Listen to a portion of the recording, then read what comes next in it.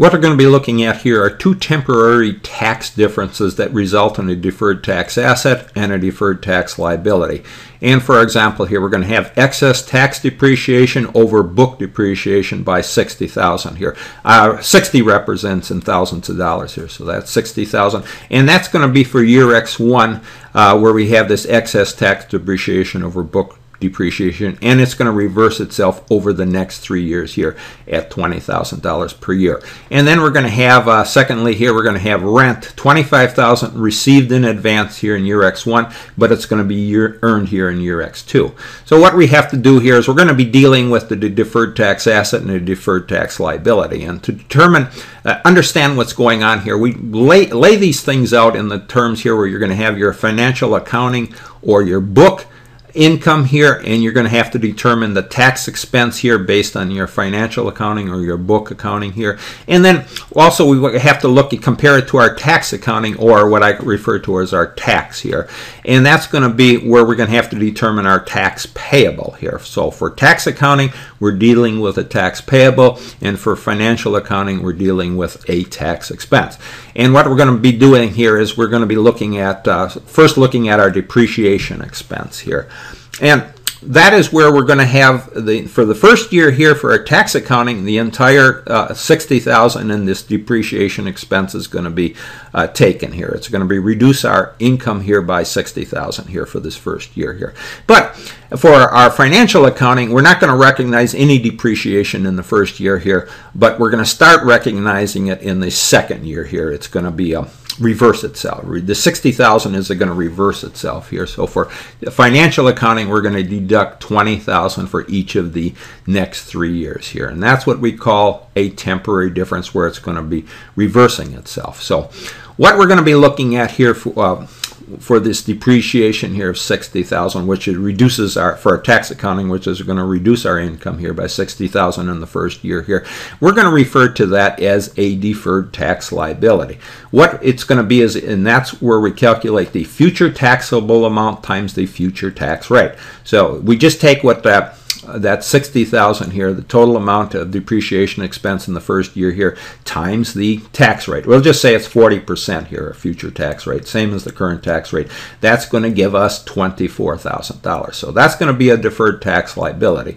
Well, why do we call it a deferred tax liability? So if you come up here and you look at, compare it to this, your financial accounting or your book income here versus your tax, tax income in this second year here, year X2, for book purposes, we're going to reduce $20,000 here per for that income for the year here. But for tax accounting, we're not going to take any depreciation since all of it was taken in the first year here. So when you're looking at it in those terms, terms here, for your depreciation expense for tax accounting, uh, none is being taken out here. So your tax accounting here, uh, you're going to have a tax liability because you're, in this case, the tax income here is going to be higher than the book income or you can say the book income is lower here because you're deducting 20,000 here for that second year here.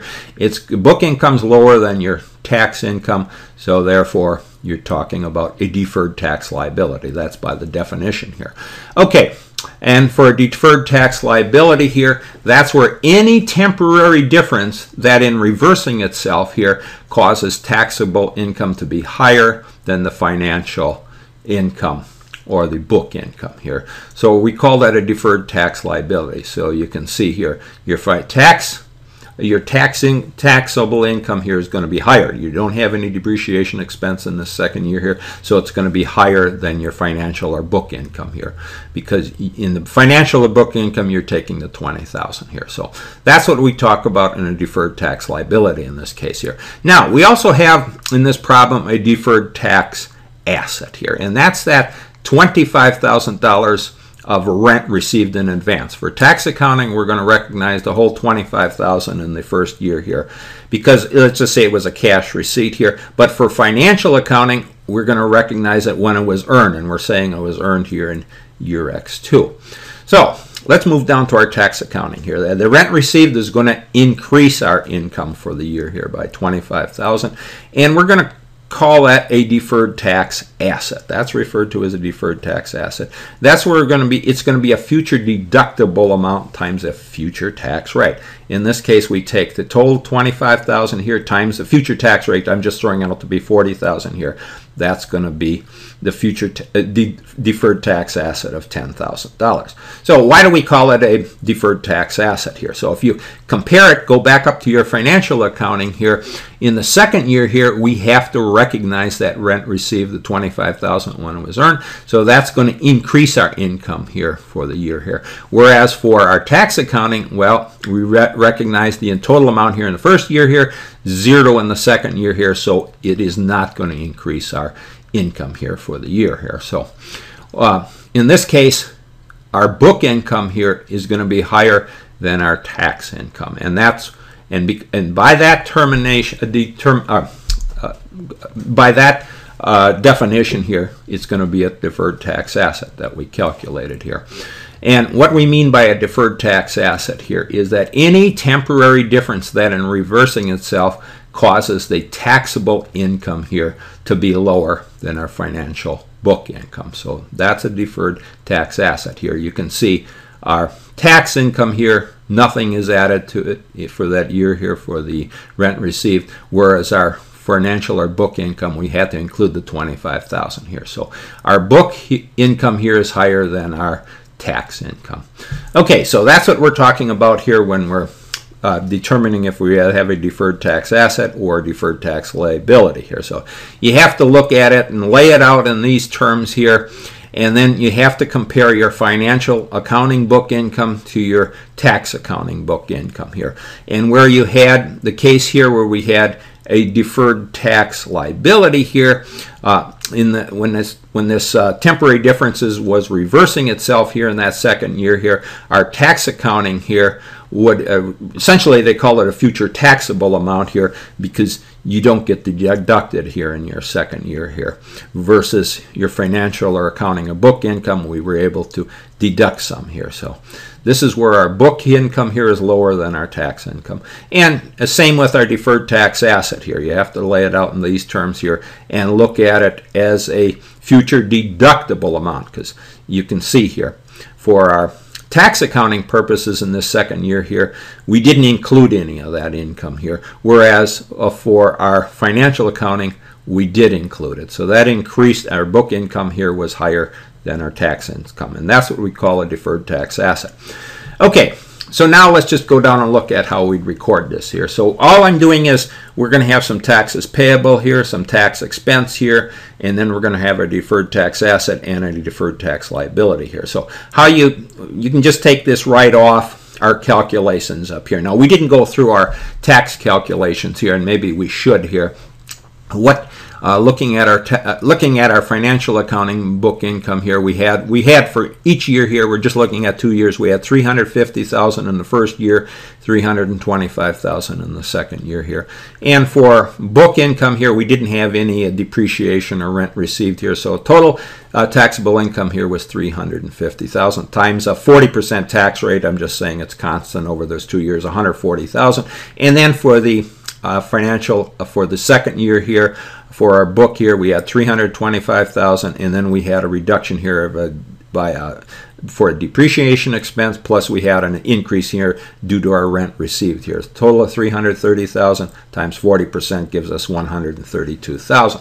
And then same for our tax accounting. You can just go through it here. We had a deduction here for the first year for depreciation, of 60,000, and then we had increase here for the rent received 25. Total taxable income here is 315,000 times 40%, 126,000. And then the next year here we didn't have any depreciation or uh, uh, reduction or rent received here. So taxable income was at 325 times 40%, three, uh, 130,000. So let's go down and let's just look at how we'd record this. So the, like we went here, we have our tax payable here. That would be on our balance sheet here for tax accounting, and that's comes up for our tax accounting for a tax we call it a tax payable here. So for year x1 we had 126000 creditor in, increase our tax payable here.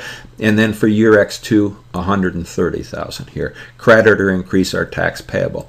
And then the other thing is our tax expense on our income statement. And that um, we go up here to our chart where our financial accounting we had a 140,000 for the first year here 132,000 here for the second year so debit or increase our tax expense by those amounts now we have also we record our deferred tax asset here and that is what we calculated up above here the deferred tax asset. That was that 25,000 here of rent received in advance times the 40% tax rate. So our deferred tax asset, debit that here for $10,000. And then also we have the deferred tax liability, and that was that ex excess tax depreciation of 60,000 over the book depreciation of 60,000. So here you, uh, in this case for the deferred tax liability, uh, we would credit that here for $24,000. So you can see uh, that was at 60,000 here times the 40% tax rate. So what you're seeing here, we've set up our deferred tax asset and a deferred tax liability. And what we could do in a lot of these cases here, you have to understand, you have to know where the deferred tax assets, you got to know your debit and credit amounts here. Debit here is a plus, credit a minus here, and deferred tax liability, that'd be on the balance sheet. Remember, you got a debit minus here, a credit plus. So we determine what our deferred tax asset and deferred tax liability is. But in knowing any one of these amounts for our debits and credits here, we can actually plug and determine what the other amounts are. But since we calculated them up above here, we can we just put them in here so you understand. Now with our deferred tax assets and our deferred tax liabilities, they reverse themselves here. So for looking at our second year here, X2, you can see that we have uh, uh, uh, it reversed. The deferred tax asset's going to credit it out here. And we can look at it in terms of our debits and credits here when we come to an end. And if for deferred tax liability here, it reverses itself out. We start out with a credit balance here, and for, we're going to reverse itself out here by $8,000 each year. That was the $20,000 here in a depreciation for the year here times the 40% tax rate. So what we're going to do here, let's just look at our debits and credits, go through them quickly here so you understand. Say we had a credit here in our tax payable, 126000 Now, we have another credit here for a deferred tax liability of 24,000. So what does that add up to? 150,000 for our credits. Now that balances with our tax expense here. Remember we calculated that to be 140,000 debit amount here and then for deferred tax asset we had that debit here of 10,000. So that's 150,000. They balance out. And it'll be the same for year X2 here. We had deferred tax payable here of 30,000 and then we would have um, a deferred tax liability here, debit, or excuse me, credit here for 130,000, and then we would reverse out our deferred tax asset here, credit of uh, 10,000 here. So a total of 140,000 in our credits, and then our deferred tax expense. We had 132,000 debit here, and then we would also have another uh, 108,000 uh, debit here for 140,000 here. Deferred tax liability had a debit here of 8,000. So you can see what's going on here. If you're, you can just go in and plug these uh, things, uh, these amounts here. So you set up your T accounts here, and you can, uh, you if you don't know what one or if you know well, two of the three here, you should be able to determine the other here. But since we went through and we calculated them all here, we are able to easily plug them in. But just remember, deferred tax asset, that would be on the asset side of the balance sheet here. Deferred tax liability would be on the liability side of the balance sheet here. And our taxes payable, that's also uh, on our liability side of the balance sheet here. And our tax expense, that would go to our income statement here. Okay, so that will take care of our discussion here looking on um, a basic example here where we had two temporary differences that resulted in a deferred tax asset and a deferred tax liability.